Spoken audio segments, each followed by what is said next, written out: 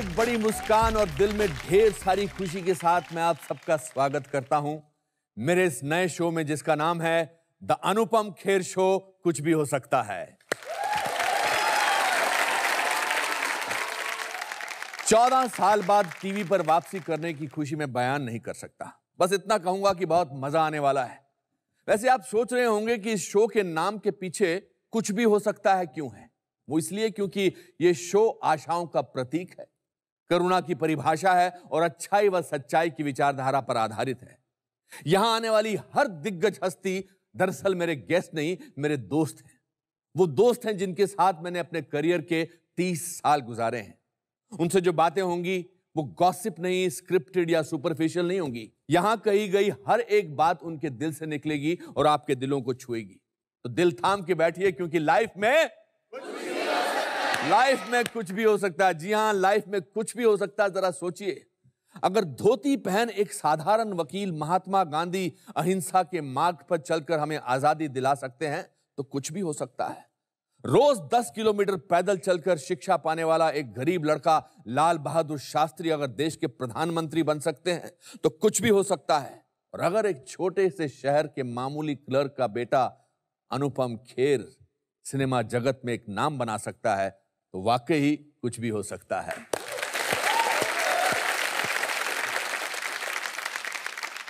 दोस्तों, हम सपनों की दुनिया में जीते हैं। हर कोई आशा करता है कि उसका जीवन सफल हो और वो उन ऊंचाइयों को छुए जिसकी वो कल्पना करता है। और मैं कुछ अलग नहीं हूँ। मेरा सपना था कि मैं एक अभिनेता बनूं और उस सपने की शुरुआत इसी रंगमंच से हुई। इसीलिए आज इस शो के द्वारा मैं रंगमंच की कला भूमि को श्रद्धांजलि अर्पित करता हूँ।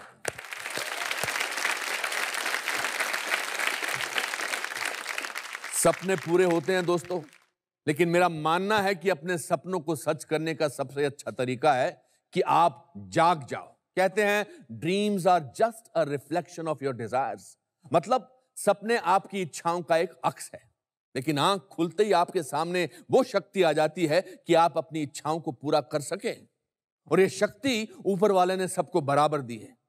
फ़र्क सिर्फ़ इतना है कि मुट्ठी भर लोग ही इस बात को समझ पाते हैं और बाकी निराशाजनक ज़िंदगी बिताते हैं। पर ऐसा क्यों है? क्योंकि लोगों का लाइफ में नज़रिया बहुत निराशावादी यानी पैसिमिस्टिक हो गया है। धीरे धीरे हमें अच्छाइयाँ दिखने बंद हो जाती हैं। हम हर चीज़ में बुराई ढूंढते हैं। एक खूबसूरत सफ़ेद दीवार पर अगर कोने में काला दाग हो तो हमें वो दाग दिखेगा, सफ़ेद रंग नहीं। याद रखिए कि एक निराशावादी व्यक्ति को हर अवसर में कठिनाई दिखाई देती है, लेकिन एक आशावादी व्यक्ति को हर कठिनाई में अवसर दिखाई देता है। और फिर है ना हमारी फिलॉसफी लाइफ में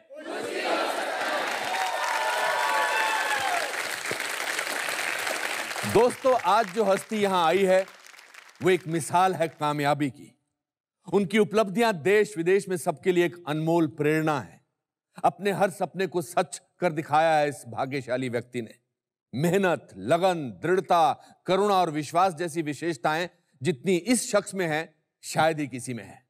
आशावादी व्यक्तित्व की संपूर्ण परिभाषा, हिंदी फ़िल्मों का बेताज बादशाह please welcome king Khan Shahrukh Khan ऐसी कोई बात तो है नहीं जो मैं आपके बारे में जानता नहीं। नहीं बहुत सारी बातें हैं शायद। मेरे पास भी दो चार बातें ऐसी हैं जो मैं बताना नहीं चाहूँगा जो आपके बारे में मैं जानता हूँ तो be careful what you ask हम लोगों ने बहुत एक्चुअली मेरे सबसे ज़्यादा जो सबसे ज़्यादा को एक्टर रहे हैं वो अनुपम ही रहे हैं। एक्चुअली मैं काउंट कर रहा था।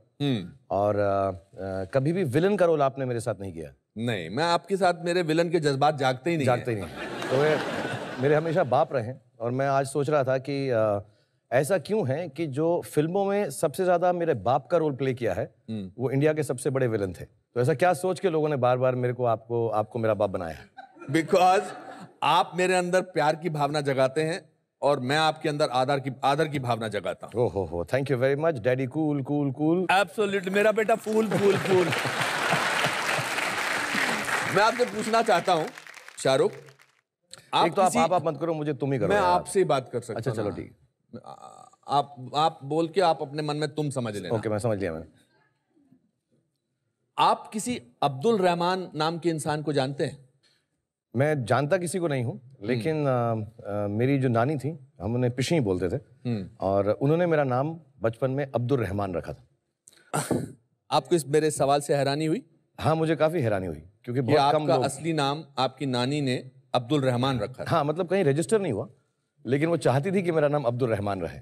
और तो मुझे अजीब सा लगा अभी आप सोचो Baazigar starring Abdul Rahman in as कोई जमता नहीं कुछ। Shahrukh Khan as Baazigar better sound करता। अच्छा बिल्कुल बिल्कुल। शाहरुख खान किसने रखा था फिर आपका नाम? चेंज कैसे हुआ? मेरे फादर ने रखा मेरे पिताजी ने। उनके अ, उन्होंने मेरी बहन का नाम लाला रुख जो बहुत बड़ी पोयम पे बेस्ड है। एब्सोल्युटली और अ, उनके पास एक घोड़ी थी उसका नाम भी लाला रुख था। वो घोड़े अच्छा। कलेक्ट करते थे तब। तो उनके अ, उन्हें ऐसा लगा उनका नाम लाला रुख होना चाहिए और मेरा Shahrukh which means prince like face तो मैं मज़ाक से बोलता हूँ प्रिंस चार्ल्स लाइक फेस क्योंकि नाक मेरी बड़ी है। नहीं नहीं आपका चेहरा तो राजकुमार जैसा है बिल्कुल। बट मेरी नानी ने अब्दुल रहमान रखा था। और जब मैं थोड़ा सा बड़ा हुआ तो मेरी जो कज़न हैं वो छेड़ते भी थे गाना गाते थे। हाँ। कि जब तेरी शादी होगी तो हम ये गाना गाएँगे अब्दुल रहमान की मैं अब्दुल रहमनिया कोई पुराना गाना था। So I am glad but but having said that जितने भी लोगों का नाम अब्दुल रहमान है बहुत अच्छा नाम है और वो बहुत अपना नाम शाहरुख खान रख नहीं, नहीं, नहीं, तो उनकी लाइफ में कुछ भी हो सकता है। नहीं ऐसा नहीं है। शाहरुख खान एक ही रहने दो तो बेहतर है यार। एक ही है। हाँ ऐसे रखते हैं एक ही रखते अनुपम खेर भी एक ही है। बस there is there is no other one called Anupam Kher and Shahrukh Khan बस। एब्सोल्युटली अच्छा मुझे ये बताओ कि आप आर्मी ज्वाइन करना चाहते थे? हम्म। और ये तो हर छोटे बच्चे का ख्याल होता है कि मैं आर्मी ज्वाइन करूँ। ऐसा था या जज्बा था पूरा? नहीं मुझे बहुत दिल था। और एक्चुअली मैं एक आर्मी स्कूल के अंदर मैंने एडमिशन भी ले लिया था। हम्म। और मुझे स्पोर्ट्स का बहुत शौक था specially hockey field hockey football cricket athletics तो ऐसा लगता था कि जो आर्मी ऑफिसर्स हैं वहाँ पे अपॉर्चुनिटी ज़्यादा मिलती है। आर्मी स्कूल्स में अपॉर्चुनिटी ज़्यादा मिलती है खेलने की। हम्म। तो मैंने उसमें एक माउंट आबू में था स्कूल और एक कोलकाता के पास। हम्म। तो आई थिंक मैंने एडमिशन भी लिया था। लेकिन फिर वो ऐसा उन्होंने बोला कि बाल वाल काटने पड़ेंगे बहुत। तो मैं छोटे बालों से बहुत आपको ये तकलीफ़ नहीं है। मुझे आपका मतलब क्या है? नहीं नहीं मैं नहीं नहीं आपका नहीं, मतलब आप- क्या? आप- आपने अपनी choice- बालों का रीजन दिया आर्मी ना ज्वाइन करने के लिए? नहीं नहीं ऐसा नहीं बोलूँगा लोग उसको कंट्रोवर्सी बना देंगे कोई कंट्रोवर्सी नहीं है ये तो दिल का शो है। आई थिंक माई मदर उन्होंने भेज दिया। उसके बाद उनको ऐसा लगा कि एक मैं एक ही पहला ही लड़का हूँ पूरी फैमिली में इंडिया में। Uh, बाकी सब लड़कियाँ थी। सो दे जस्ट फेल्ट कि पहला लड़का है आर्मी में चला जाएगा। I think all the aunties I been brought up by women मुझे सब uh, नानी माँ मासियाँ बहन तो मैं सिर्फ़ लड़कियों में ही पला बड़ा हूँ। सो आई थिंक उन सबका दिल ऐसा हो गया कि अरे आर्मी में चला जाएगा। उनको ऐसा फीलिंग आता है ना ऐसा ड्रामेटिक हो गया कि वॉर फ्रंट पे चला जाएगा और लड़ाई कर रहा होगा। सो आई थिंक कुछ एक डेढ़ महीने बाद मेरी माँ ने डिसाइड किया कि नहीं तुम आर्मी मत ज्वाइन करो। आर्मी स्कूल मत ज्वाइन करो। मैं आर्मी नहीं कर रहा था आर्मी स्कूल ज्वाइन कर रहा था। और यहीं दिल्ली में रहो हमारे पास। और मेरी टिल द एज ऑफ़ पाँच साल की उम्र तक या छः साल की उम्र तक क्योंकि हमारी माँ की फैमिली में कोई लड़का नहीं था तो मुझे मेरी नानी ने अडॉप्ट कर लिया था। तभी नाम अब्दुल रहमान रखा था। अ, तो मेरी माँ को तब ऐसा बड़ा दिल था उन्होंने कहा हाँ हम और कर लेंगे ये रख लो। बट आई थिंक पाँच छः साल मैं बैंगलोर में रहा बैंगलोर और बैंगलोर में। और फिर आई थिंक मेरी माँ का दिल चेंज हो गया। उन्होंने कहा "नहीं, वापस करो मेरा लड़का। दूसरा वाला हो नहीं रहा हमसे। तो तो आई थिंक वापस ले आए मुझको। एंड बट मेरे साथ सबका बहुत लगाव है। जितनी भी औरतें हैं हमारी फैमिली में बहुत औरतें हैं।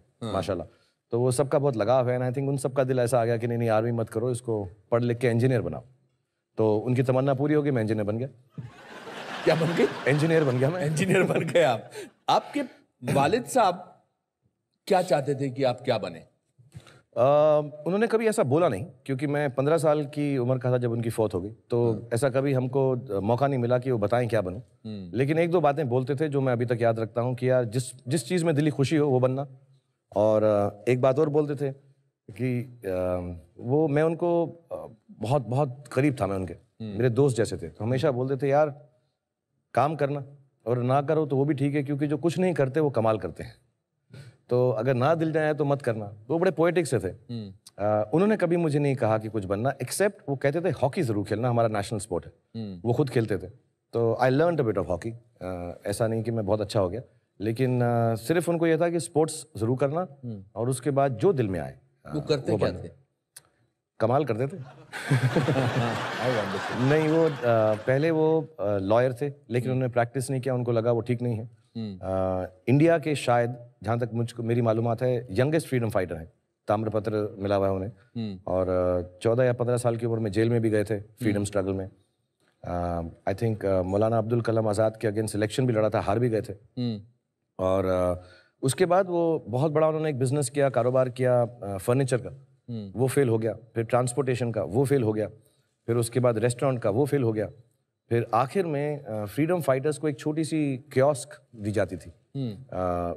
विलिंगडन हॉस्पिटल के पीछे दिल्ली में छोटा सा। कहाँ पे? तो विलिंगडन हॉस्पिटल दिल्ली में। हाँ। तो वो छोटे से क्योस्क में चाय बनाकर बेचते थे।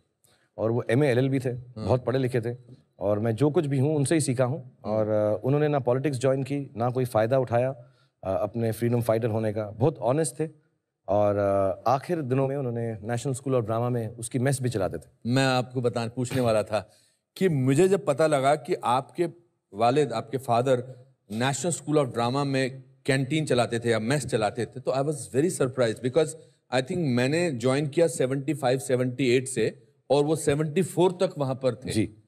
और आप ये सारे एक्टर्स को वहाँ मिलते रहते थे? एक्चुअली uh, कुछ अजीब सा रीज़न है कि मैं एक्टर बन गया। हाँ. मुझे लगता नहीं था मैं एक्टर बनूँगा या ऐसी कोई सोच नहीं थी फैमिली में कोई नहीं था अ, कि एक्टिंग करेंगे। लेकिन मुझे लगता है वो फॉर्मेटिव ईयर्स थे। मैं सेंट कलम्बस स्कूल में पढ़ता था जो गोल मार्केट में था। और मैं मॉडर्न स्कूल में बाराखंबा रोड में अपनी बहन को लेने आता था। उनका स्कूल साढ़े तीन चार बजे ख़त्म होता था। तो वो वक्फा जो था एक बजे से चार बजे मैं आके नेशनल स्कूल ऑफ़ ड्रामा में बैठता था। तो मैं एक्चुअली जिन जिन लोगों के साथ पला बड़ा हुआ हूँ वो इस देश के सबसे महान एक्टर्स में से हैं। रोहिणी हतनगढ़ी जी राजेश विवेक साहब सुरेखा सीकरी जी राज बब्बर साहब अजीत वच्छानी जी रघुवीर Yadav. Are all names of my seniors या और मैं इन सबके साथ अ, अ, वो मुझे बहुत प्यार करते थे। मैं अभी अजीब लगता है कहते हुए बट राज बब्बर साहब को बब्बर अंकल कहता था। हाँ। तो अ, उन सबके साथ मैं बड़ा हुआ और अलकाजी साहब उस वक्त डायरेक्टर थे। हमारे गुरु। जी सूरज का सातवां घोड़ा उनकी गोद में बैठ के मैं देखता था और मुझे बताते रहते थे कि अ, तो आप एक्टर कैसे नहीं बनते? आप क्या बोलते हैं कि मैं ऐसे ही इंजीनियर बनना चाहता था मैं आर्मी में जाना चाहता था? लेकिन वही पुराना किला में जाके हम बैठ के देखते रहते थे अलकाजी साहब साथ में बिठाते थे और कहते थे देखो उसमें अंडर स्टडीज़ होती थी कभी अजीत वछानी साहब कभी हाँ, साहब हाँ। डबल कास्टिंग होती थी। तो मुझे अभी भी याद है सारे डायलॉग्स रजिया सुल्तान सुल्तान के एक सुल्ताना का एक डायलॉग था। क्या ये दुरुस्त है कि मैं गुलाम हूँ मिट्टी सा सिया। जिसे कदमों के नीचे रोन दिया गया हो। लेकिन हमें ये एक सा रुतबा देता है खुदा की नज़र में हम एक हैं। खुदा हमें खून और रंग से नहीं अमल से परखता है। वाह! So I, uh, मनोहर सिंह जी हाँ। सारे मैंने सब बड़े बड़े एक्टर्स को देखा है उनको रिहर्सल करते हुए तुगलक भी देखा होगा? मैं तुगलक भी देखा है और सारे के सारे एंगर ये सारे प्लेस सारे प्लेस मैंने तुगलक सूरज का सातवां घोड़ा मैं सब वहीं रहता था उनके साथ रिहर्सल करते थे ताश खेलते थे ब्लफ सिखाया था हमको राज बब्बर साहब ने ताश की गेम सो so, मेरी जो जो अपब्रिंगिंग है आई थिंक वहाँ कहीं ना कहीं मुझे ऐसा लगने लगा कि मैं भी कुछ एक्टिंग वैक्टिंग कर लूँगा।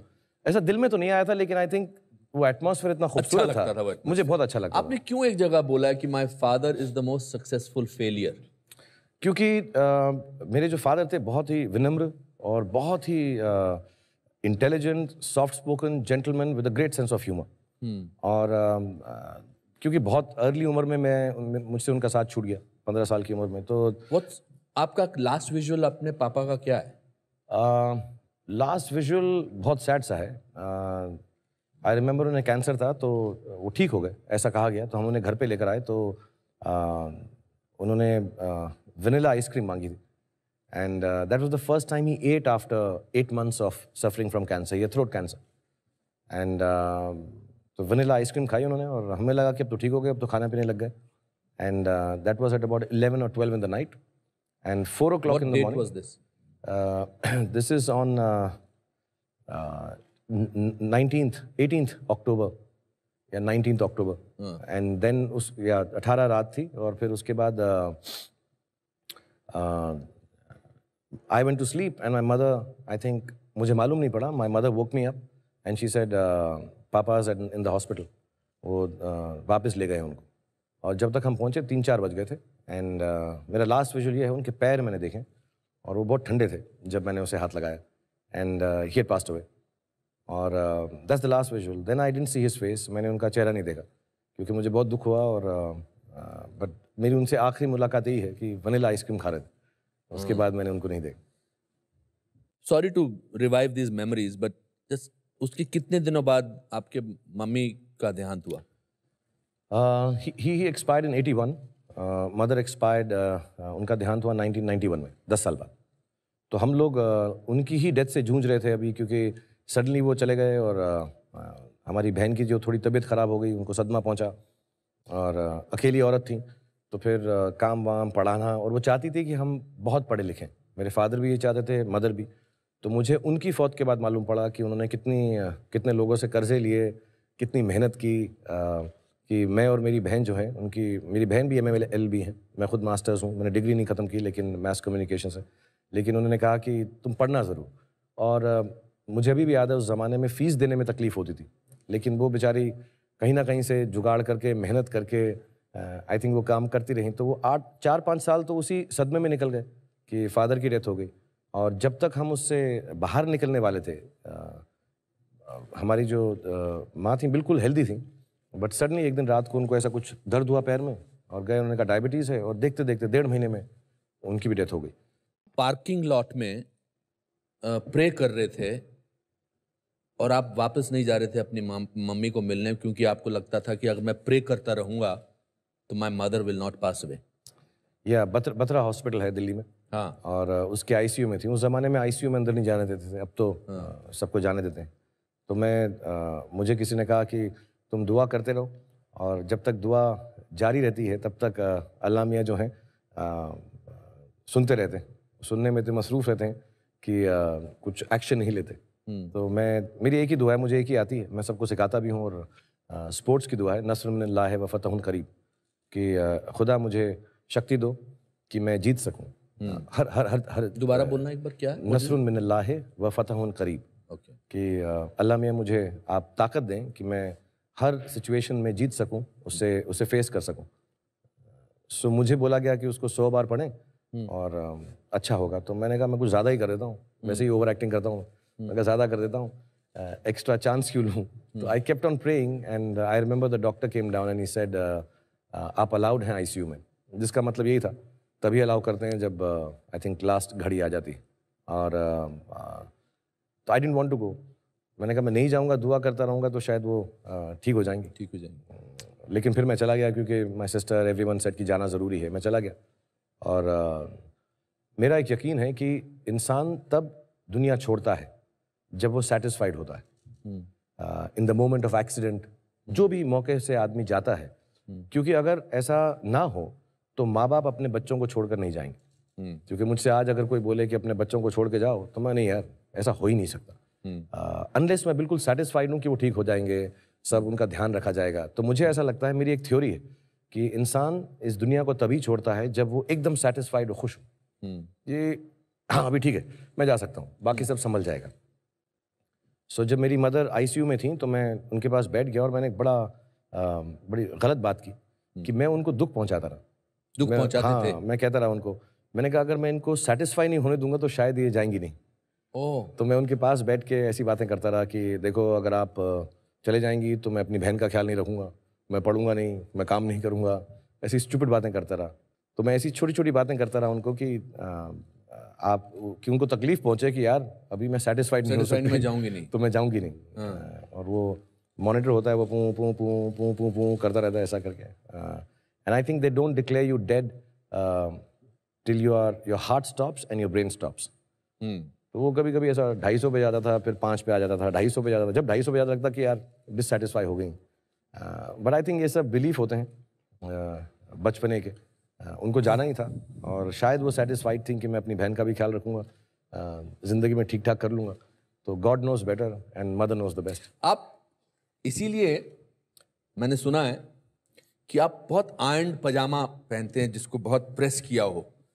क्योंकि आपका ख्याल ये है कि अगर सपना आए तो जिसको भी जिसका भी अच्छा सपना आए तो उससे अच्छे कपड़ों में मिले नहीं आयन पजामा नहीं पहनता पजामा डेथ बिफोर पजामा।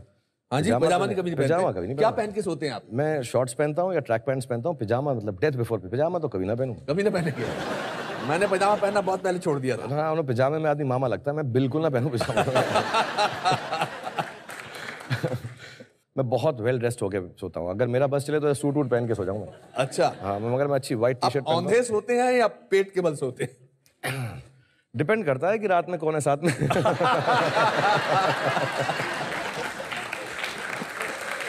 और जब तनहा होते हैं तो कैसे सोते हैं? आई थिंक मेरे को uh, कभी देखा नहीं अपने आप को सोते हुए लेकिन मुझे ऐसा लगता है मैं उल्टा ही सोता हूँ। अच्छा। हाँ उल्टा सोता हूँ मैं। शुरू सीधा होता हूँ। आमतौर पे कहा जाता है कि जो बादशाह होता है जो राजा होता है जो किंग होता है वो सोते हुए बहुत अकेला महसूस करता है। हम्म। Do you feel like that हाँ मतलब मुझको रात में अकेलापन महसूस होता है क्योंकि मुझे एक तो नींद बहुत कम आती। मैं तीन चार घंटे सोता हूँ। इसलिए नींद कम आती है या इसीलिए देर से सोते हो। आई डोंट नो इनमें से कोई चीज़ होगी मतलब या तो मुझे क्योंकि अकेलापन है इसलिए नहीं सोता हूँ। हाँ। तो मैं बच्चों को बीवी के साथ सबसे बात बात करके उनको भी मैंने लेट कर दिया है। हम्म। लेकिन उसके बाद मैं एक चीटिंग करके उनके बाद भी जागता रहता हूँ। हम्म। और या I feel alone at night और मुझे ऐसा भी लगता है ऐसा कुछ बिलीफ है मेरा कि जो क्रिएटिव लोग होते हैं हम्म। वो रात को जागना उनका लाजमी है।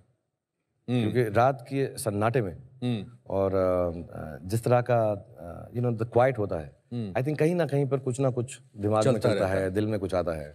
बट या मैं बहुत I I I feel alone at night या I feel lonely at night तो मैं कभी कभी अकेला बैठ के कुछ पढ़ लेता हूँ लिख लेता हूँ। टीवी भी देख लेता हूँ कभी कभी अगर मिस हो गया हो। बट अदरवाइज़ या नाइट्स आर लोनली या Nights are lonely. Which was the first actress you had crush on?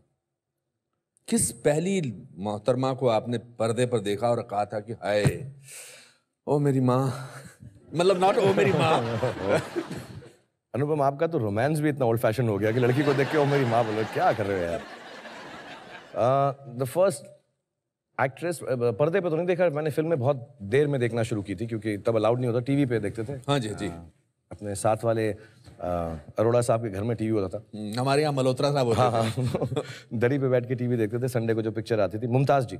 Mumtaz. हाँ मतलब मेरी ऑल टाइम फेवरेट है मुमताज़ जी मुझे बहुत खूबसूरत लगती हैं। हाँ। और अ, अभी मतलब ऐसा कहना सही है कि नहीं बट एक्सट्रीमली सेक्सी हाँ। And I think very very beautiful मैंने नोट किया कि पिछले अ, जब से मैं बात कर रहा हूँ आप बहुत केयरफुल हो गए हो कि ये ठीक बोलना सही है कि नहीं मैं नहीं बोलता हूँ।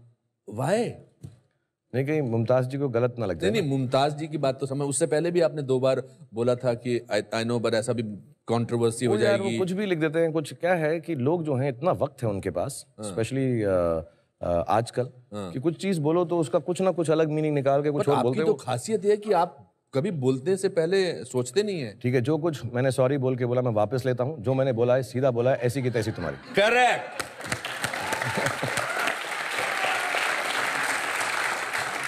एंड आपके पसंदीदा एक्टर कौन थे? मुझे बलराज सानी साहब बहुत अच्छे लगते थे। अ, हालाँकि हालाँकि हालाँकि बलराज सानी साहब ने कोई गाना नहीं गाया है नाच नाच के। एक्सेप्ट वो ओ मेरी जोहरा एक्सेप्ट यश जी वाला वक्त हाँ, वो मुझे बहुत अच्छे लगते उन, कुछ प्लेजेंट था उनमें। और अब मुझे और भी अच्छे लगने लगे हैं जब मैं पीछे देखता हूँ।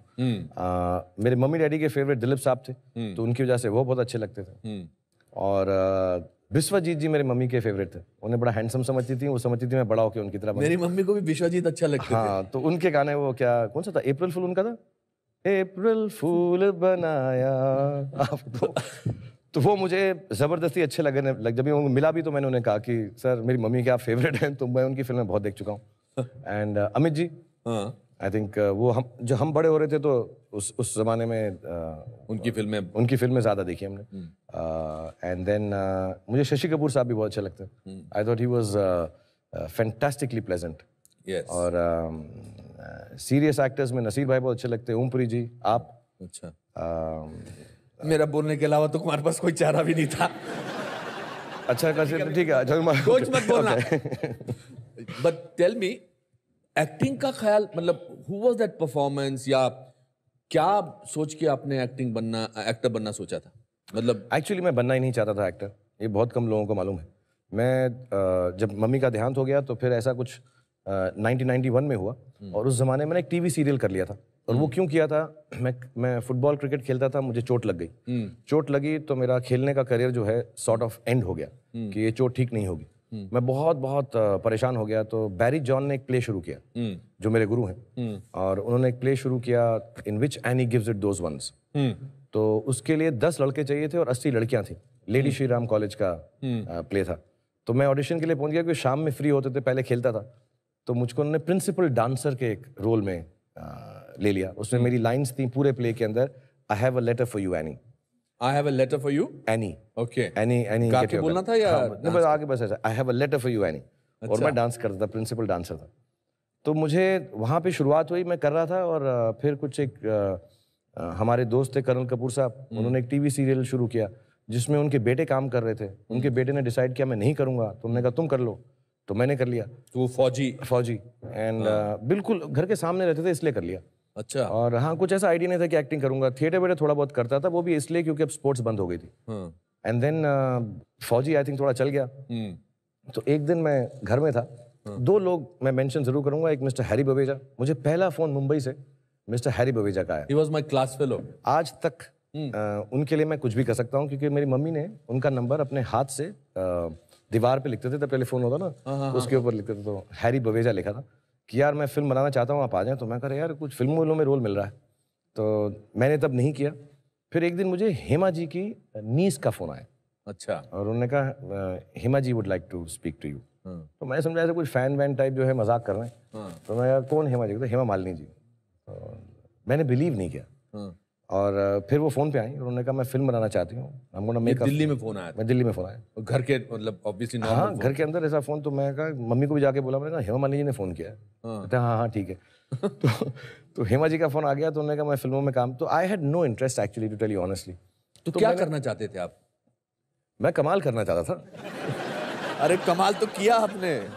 मैं मैं मैं एक्चुअली फ़िल्में बनाना चाहता था। आप फ़िल्मों के साथ जुड़ा हुआ कुछ काम करना मैंने साइंस की उसके बाद इकोनॉमिक्स की उसके बाद मैथ्स कम्युनिकेशन मैंने इसलिए की मैं एड फिल्म्स बनाना चाहता था। मेरे को लगा ऐसा ये ठीक है यार कुछ ऐसा तीस सेकंड के अंदर फ़िल्में बनाऊँगा। क्योंकि ना मुझे लगता था मैं देखने में ठीक हूँ ना मुझे लगता था मुझे एक्टिंग आती। तो मैं कहा मैं कुछ ऐसा फ़िल्म बना लूँगा मैं जाके और एड फ़िल्म मुझे बड़ी अच्छी लगती थी। मैंने प्रोडक्शन में काम किया था दो चार दिल्ली में। सॉरी मैंने आपको कट किया आप हेमा जी की बात हाँ। सो देन शी सेड कि मैं फ़िल्म बना तो मैं समझा मतलब मैं बहुत शॉक्ड हो गया कि मैं सबको बताया हेमा मालिनी जी का फ़ोन आया था। बट मैं गया नहीं। And then my mother died three four months later तो मैं बड़ा दुखी था। तो दिल्ली में दिल नहीं लग रहा था। तो आई अकेला हो गया। तो मैंने कहा यार मैं ऐसा करता हूँ। जो जो लोगों ने मुझे कहा मैं दिल मैं मुंबई में काम करने आया था एक सीरियल के अंदर वागले की दुनिया। वागले की दुनिया एक एपिसोड के लिए आया था। तो उसमें मैं अज़ीज़ मिर्ज़ा सईद मिर्ज़ा कुंदन शाह केतन मेहता इन सबसे मिला। तो वो बहुत प्यार दिखाते थे और कहते थे मैं बहुत अच्छा एक्टर हूँ। हम्म। तो मुझे बहुत अच्छा लगा उन्होंने बड़े बड़े लोगों ने आपने बहुत अच्छा काम किया था फौजी में। हाँ दे दे दे वर वेरी बहुत अप्रिशिएटिव अच्छा था उसमें आपने। तो और वो बड़े बड़े लोग थे सब Mehta. out in that, uh, हाँ so they were very nice to me कि तुम बड़े अच्छे एक्टर हो तो मुझे थोड़ा सा कुछ ऐसा लगा ठीक हो रहा है। So when my mother died मैंने ऐसा डिसाइड किया कि मैं एक साल के लिए मुंबई आऊँगा और जो काम मिलेगा वो करूँगा for a change of scene so when I came here मैं एक दिन रात को बैठ के लकी बिरयानी खा रहा था कहीं। हम्म, बैंड्रा में। बैंड्रा में। तो वहाँ एक विवेक वासवानी करके एक प्रोड्यूसर है वो आए उन्होंने कहा तुम फ़िल्मों में काम करोगे? ऐसे नहीं नहीं मैं ठीक ठाक हूँ मैं टीवी पे काम कर रहा हूँ। उस वक्त मैंने सर्कस शुरू किया तो मैं कहा नहीं मैं ठीक ठाक हूँ कहा नहीं नहीं नहीं मिस्टर जी पी सिपी उनकी फ़िल्म है। हम्म, और तो मैं कहा ठीक है ऐसे बात कर रहे हैं। फिर मैं चला गया। सुबह सुबह वो आ गए घर में और अ, मैं ऑफ़िस में रहता था अज़ीज़ और सईद मिर्ज़ा के। तो उन्होंने मुझे बुलाया कहा चलो। And he took me to जीपीसीपी साहब। एंड आई रिमेंबर जीपीसीपी साहब ने मुझको देख के बोला he'll be a hero his hair is like a bear अच्छा। मेरे बाल ऐसे कैसे तो मैं उसको देखा मैं यार ऐसा क्या यार? तुम ले हो यहाँ पर? तो कह रहे हैं hair is like a bear अच्छा G P Sippy sahab Sholay and everything so and then one thing led to another मैंने एक दिन में पाँच फ़िल्में साइन की। मैं हेमा जी के पास वापस गया। तो उन्होंने मुझे I cast you because your nose is very aristocratic very good तो उन्होंने मुझे नाक के लिए कास्ट कर लिया? वो समझिए मैं बड़ा सीरियस एक्टर हूँ। राजीव मेहरा साहब की एक फ़िल्म में और कोई हीरो थे शायद वो नहीं कर सके तो उन्होंने मुझे ले लिया उस दिन। राकेश रोशन जी किंग अंकल बना रहे थे अमित जी के साथ उस वक्त। राइट तो उन्होंने मुझे बोला मैं मेरे बीवी और बच्चों ने बोला है कि मैंने तुझे अगर कास्ट नहीं किया तो ये फ़िल्म नहीं बन सकती। तो तुम कर लो तो मैंने कर ली। तो एक ही दिन में मैंने पाँच फ़िल्में साइन की। दीवाना फ़िल्म जो थी वो हेमा जी के ही कुछ रिलेशन में थे। गुडू धनवासा धनवा साहब तो उन्होंने ऑफ़र की और जीपीसीपी साहब ने राजू बन गया। तो मैं एक दिन में पाँच फ़िल्में साइन की। मैंने कहा एक साल काम करूँगा और फिर मैं चला जाऊँगा। मेरे दोस्त जो थिएटर के हैं दिव्या सेठ दीपिका ऋतुराज तो उन सबको मैं यही बोल के आया था। बेनी टॉमस जो थिएटर में टैग में बैरी जॉन कि एक साल में आ जाऊँगा मैं यार। तो उन लोगों ने मुझे बोला भी था हाँ हाँ यार तू ये वाले के साथ एक्टिंग करना उसके साथ करना वन ईयर बाद। सो दे स्टिल वेटिंग और some of them are here अब मुझे पच्चीस साल हो गए और मैं वापस नहीं गया। जिस दिन आपने पाँच फ़िल्में साइन की थी आपको उस दिन लगा था कि लाइफ में कुछ भी हो सकता? है एक्चुअली uh, जिस दिन मैं मुंबई में पहली बार आया हम्म, और अ, जब मैं फ़र्स्ट टाइम यहाँ पर आया था तो मेरे पास अ, वापस जाने के पैसे नहीं थे। हम्म, और मैं ओब्रॉयज होटल है जो हम्म, तो वहाँ पे था ना पैसे थे ना कपड़े धुले हुए थे और मुझे वापस जाना था मुंबई बहुत साल पहले की बात दिल्ली। तो मैं वहाँ खड़ा होकर मैंने ऐसा बोला था कि यार ये सिटी ने मुझे बहुत परेशान कर दिया है। एकदम सड़क पे ले आया। मैं सड़क पे सोता था। तो मैं कहा यार मैं एक दिन आऊँगा और इस सिटी को ओन करूँगा। जी। बचपने की बेवकूफ़ी समझिए इसको। मैं प्राइड से नहीं बोला और arrogance से नहीं बोला foreshadowing of the बट मैंने ऐसे गुस्से से बोला था वहाँ खड़ो यार एकदम मेरे साथ आसपास? नहीं मैं अकेला ही था। सब लोग के सामने नहीं बोलता ऐसी बात है बेइज्जती हो जाती है। वो मैं कहा मैं मन में बोला था या ज़ोर हाँ, वहाँ बोला पे खड़ा हो गया ऐसा रोज आ रहा था। मैं कहा यार मैं ये सिटी ऑन करूँगा। एंड फ़र्स्ट टाइम जब मैं यहाँ पर uh, हेमा जी के साथ कॉन्वेंट विला में पहला शॉट दे रहा था। हम्म। और हेमा जी ने मुझे एक्टिंग करके दिखाई। हम्म। और कहा कि what you doing do like this हम्म। हेमा जी ने ऐसा कुछ मुझे कि जब मैं चाँद को देखता हूँ तो ऐसा होता है ऐसा करके बड़ा खूबसूरत सा मैं उनको ऐसा देखता रहा ऐसा करके। She'll do like that I said no only you can do like that you're beautiful. I'm not so beautiful. Can i do it differently? She said, ah you do how you want. Come on. And when i was standing there तब मुझे ऐसा लगा कि ज़िंदगी में कुछ भी हो सकता है। और आपको कभी ऐसा भी लगे? कि कुछ नहीं होने वाला तब भी कुछ भी हो सकता है। और इस दौरान गौरी आपकी लाइफ में आ चुकी थी। जी हाँ मैं यहाँ पर तभी आया मतलब आने के तीन महीने बाद मैंने शादी कर ली गौरी से। Gauri came into your life तो पैरल ट्रैक पर आपकी लाइफ चल रही थी। यहाँ काम नहीं मिल रहा था मतलब जद्दोजहद चल रही थी और यहाँ मोहब्बत चल रही थी। आई आई आई मेट गौरी जब वो चौदह साल की थी और अच्छा, मैं। अठारह साल का था। आप अठारह साल के मैं अठारह साल का था। हम्म, मैं दिल्ली में पार्टीज़ हुआ करती थी जहाँ पर उस ज़माने में ऐसा हुआ करता था कि लड़के एक साइड पे बैठते थे लड़कियाँ एक साइड पे। फिर उसके बाद उठकर जाना पड़ता था may I have the next dance with you hmm, तो मुझमें आज तक और उस वक्त भी। I have never been able to आप जानते हैं। हम्म, मुझे सालों से। अ, मैं कभी भी किसी लड़की से बात नहीं कर सका हूँ। मैं पर्सनल लाइफ में बहुत शाय हूँ। हम्म, तो आज तक मैंने किसी लड़की से बात नहीं की। ना मुझ मुझको ऐसा लगता था मैं किसी लड़की से आके कहूँगा कि यार मैं I have this dance with you कहेगी नो। तो मैं वहीं पर पिघल कर ढेर होके मतलब ऐसा वैसे बहुत कम होगा। नहीं नहीं मैं आ- आप में से कोई मना करेगा अगर ये कहेंगे कि I want to have a dance with मैं यू ऐसा I have never been able to ask a girl anything in my but you are shy I'm very shy. इतनी हैरानी की बात है मैं आपको इतने सालों से जानता हूँ आप शाय हैं हाँ मैं मैं बहुत शाय हूँ। और आप रोमांस के बादशाह हैं। मुझे ऐसा लगता है जो शाय होते हैं वही रोमांटिक होते हैं। जो थोड़े से आउट गोइंग होते हैं वो ऐसे मैं समझ गया। हाँ जमता नहीं। मतलब पता मैं नहीं किसकी तरफ़ इशारा। अपनी शाइनेस की भड़ास जो है रोमांटिक रोल करके निकालता हूँ। सिनेमा पे लेकर सिनेमा में निकालता हूँ। तो मैं अ, कभी भी किसी लड़की से बात नहीं कर सका। मैं सेग्रीगेट स्कूल से हूँ सेंट कोलंबस से वहाँ लड़कियाँ नहीं थी। अ, मैंने आज तक किसी लड़की से मतलब 18 साल की उम्र तक ना किसी से बात की थी। कॉलोनी में होंगी जो लड़कियाँ एक दो किसी को जानते होंगे मोहल्ले में बड़े हुए होंगे जिनके साथ। पर आप कॉलोनी वगैरह में हीरो वगैरह की तरह चलते थे बिल्कुल नहीं था मैं बिल्कुल नहीं था। ऐसा कुछ नहीं था? कुछ भी नहीं था मैं मेल गड्ढा मुझे बुलाया करते थे। क्या बोलते थे? मेल गड्ढा मेल गाड़ी में बहुत तेज भागता था। हाँ। तो उसके लिए मुझे दिल्ली में ऐसे छेड़े रखी जाती हैं छेड़े बोलते हाँ, हैं हाँ, छेड़े, छेड़े। ओ मेले ओ तो मेला मेला करके बुलाते थे मुझको। बट बाकी दूसरे जो मेरे दोस्त थे कालू पिन्नी। बिट्टू गिट्ठी ऐसे हमारे घर के पास एक फैमिली थी उनका नाम था चारों बच्चों का नाम था मिड तोला पापा ते चीना वहीं से मुझे आइडिया आया दिल था वो जो वाले कहाँ आना ओ कोकी ओ वो वो लुलु ओ पापा वो करके दिखाएँगे बाद में थोड़ी देर बाद. हाँ। But uh, yeah, sir, I I never asked a girl for a dance. हम जा हम जाते थे ऐसा वाइट शर्ट ब्लू जीन्स पहन के कुछ एंड तो मेरे दोस्त के साथ एक बार वो डांस कर रही थी कोई लड़की तो मेरे दोस्त को मैंने बोला यार मैं इनके साथ डांस कर सकता हूँ तुम पूछ लो अशोक वासन है वो सिंगापुर में है अभी तो मेरे तीन दोस्त हैं जो बहुत करीब हैं विवेक अशोक और रमन तो अशोक ने कहा हाँ हाँ तो उसने ऐसा बोल दिया होगा उसको कि इसके साथ डांस कर लोगी? तो उसने कहा हाँ तो मैंने डांस कर लिया। तो उन्होंने डांस किया मैंने उनसे नाम पूछा और वो बहुत अच्छी थी। मैंने उनसे पूछा आपका टेलीफोन नंबर देंगी?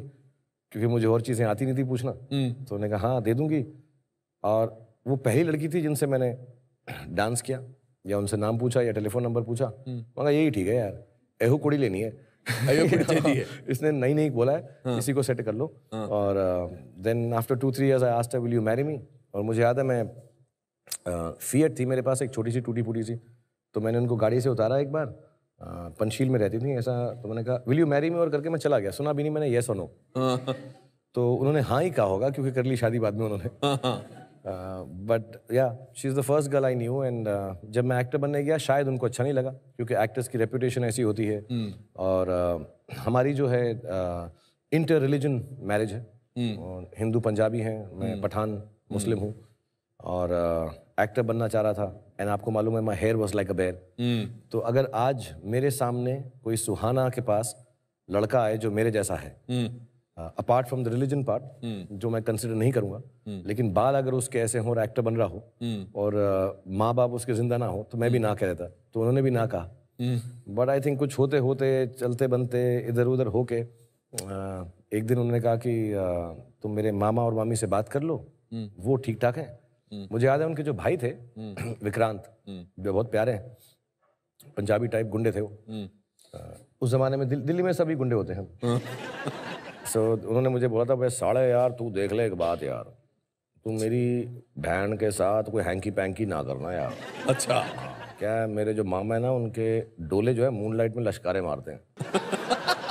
डोले इज़ मसल्स साढ़े उनके डोले जो है ना मूनलाइट में मुझे समझ नहीं वो रात में जाके वो डोले क्यों दिखाते हैं? बट वो अलग डोले जो है ना उनके साले मून लाइट में लश्कारे मारते हैं साले तलवार लेके आते हैं कच्चे में।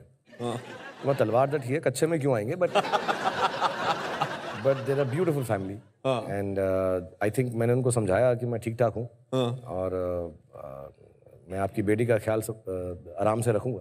And then I became an actor and मैंने जैसे बताया मैं जून में शूटिंग शुरू की और अक्टूबर में मैंने शादी कर ली। और एक्चुअली हेमा जी के सेट पे ही दिल आशना के सेट के ऊपर हमारा हनीमून था। उनकी गौरी की ऐसी क्या क्वालिटी थी जो आपको इंस्टेंटली पसंद आई थी? अब ऐसे कुछ मैं मिला तो नहीं था उनसे। नहीं मतलब after you started liking I don't know if it is right और wrong to say but physically बहुत अट्रैक्टिव थी। वेरी बहुत अच्छा आंसर है फिजिकली बहुत अट्रैक्टिव थी। गौरी के लिए पर I think that's a great आपके वालिद साहब की और आपकी अम्मी जान की लव स्टोरी भी बहुत रोमांटिक है। बहुत अमेजिंग लव स्टोरी है उनकी। अ, मेरे जो वालिद थे वो कज़न ब्रदर हैं जनरल शाहनवाज के। लाल किले से आई आवाज़ अ, मंगल ढिलो शाहनवाज जो हमारा नारा है। तो शाहनवाज साहब हमारे कज़न या रिलेटेड हैं पेशावर से। एंड uh, मेरे फादर उनके साथ इंडिया गेट पर रात को वॉक खाना खाने के बाद जो ना वॉकिंग करते थे उस ज़माने में तो वॉक के लिए निकले थे। और मेरी जो मदर हैं वो अपने फादर जो चीफ इंजीनियर कर्नाटक स्टेट थे वो ड्राइव के लिए इंडिया गेट देखने आए थे और उनकी गाड़ी का एक्सीडेंट हुआ वो उल्टी हो गई। तो ये दोनों पठानों ने उस गाड़ी को ड्राइवर भाग गया तो उन्होंने उस गाड़ी को सीधा किया। और जो फैमिली थी उसके अंदर मेरी मदर थी उनकी एक बहन थी और उनके फादर थे। उनको हॉस्पिटल ले गए। फादर ठीक थे आ, मेरी जो आंटी हैं मासी उनका होंठ कट गया था और मेरी जो मदर है उनकी मेमोरी लॉस हो गई थी। अच्छा। और उन्हें हाँ और उन्हें ब्लड चाहिए था। एक्सीडेंट में। तो मेरे फादर का जो ब्लड था उनसे मिलता था ग्रुप तो उन्होंने रात को पठान साहब ने कहा कि हम ही दे देंगे। एंड uh, तो मेरे फादर हर रोज़ उनको जाके मिलते थे खाना वाना देते थे बात करते थे। और बातें चलती थी कि यार आप यहाँ की हैं वो हैं फलाना है। आई थिंक उसी में उनका प्यार हो गया। And he went to Bangalore और I think my mother was to be married to someone else engage थी वो उस वक्त। अच्छा। हम्म, अभी नहीं बोलूँगा क्योंकि बहुत फ़ेमस आदमी थे जिनके साथ वो एंगेज थी। तो माई फादर वेंट देयर और uh, उनके जो फादर थे मेरी मदर के उन्होंने उनको कहा कि यार आपने इतना किया। सो माय फादर से आई लाइक टू मैरी चार बहनें थी वो।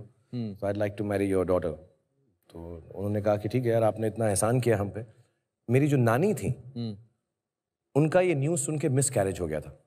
अच्छा। तो उनको भी ब्लड की ज़रूरत थी उनका भी ब्लड जो था मेरे फादर से मिलता था। क्या बात है मेरे मेरे Blood- फादर का ब्लड ही कुछ ऐसा था। हाँ मतलब Great- मेरे मेरे बाप का खून ही कुछ ऐसा था। हाँ the greatest blood donor in the world so वो वहाँ पर भी चले गए उनको भी ब्लड देकर आ गए थे बैंगलोर में। तो he went to the family the family was very वो बहुत मतलब उनका they were very indebted to him तो उन्होंने कहा कि मैं आपकी बेटी से शादी करना चाहता हूँ तो वो समझे कि जिसकी ऑब्वियसली एंगेजमेंट नहीं है। तीन उनकी चार बेटियाँ थी उन्होंने कहा यार हमारे पास से तो- किसी हाँ। हाँ मतलब पहली वाली तो एंगेज थी। सो ही सेड नहीं नहीं मुझे इन्हीं से शादी करनी है। तो उन्हें वो बहुत खूबसूरत लगी। तो आई थिंक क्योंकि वो ऐसे इंडेटेड थे उन्होंने वो एंगेजमेंट वगैरह तोड़ा के अ, मेरे फादर से उनकी। हालाँकि उनका एज डिफरेंस उस जमाने में ऐसा माना नहीं जाता तेरह साल का एज डिफरेंस है। बिटवीन आपके पापा और आपकी मम्मी में। हाँ but they agree to it and they said कर लो यार शादी तुम। अब तुमने कमाल की लव स्टोरी है इसको हाँ, तो आपको फ़िल्म में बनानी चाहिए इस पर। बट मुझको क्या है वो डर लगता है खून देने से। अदरवाइज़ मैं कर लूँ मैं थोड़ा। अच्छा अपना रोल पापा का रोल आप ही करने वाले हो? क्योंकि मम्मी का तो नहीं करूँगा ना यार। नहीं नेचुरली मुझे लगा कि शायद अपने बेटे को देना चाहोगे। कोई अच्छा एक्टर करे वो रोल तो बेहतर है ना यार। अरे don't be nasty to him I am sure what does your son want to be मैंने भी उसे वही कहा है जो मेरे बाप ने कहा था। जो कुछ नहीं करते वो कमाल करते।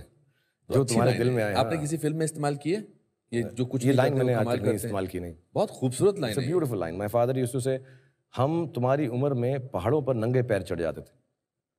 और अगर तुम चढ़ना चाहो चढ़ जाओ। नहीं चढ़ना चाहो तो कुछ मत करना क्योंकि जो कुछ नहीं करते वो कमाल करते हैं। बहुत अच्छे।